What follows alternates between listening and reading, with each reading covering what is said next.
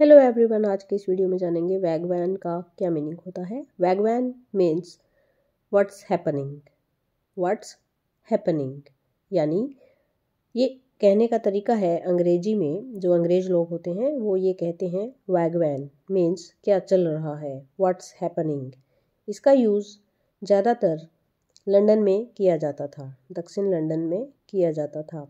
वागवान means what's happening और हिंदी में इसका मतलब है, क्या चल रहा है या व्हाट्सअप आज के इस वीडियो में बस इतना ही। Thank you for watching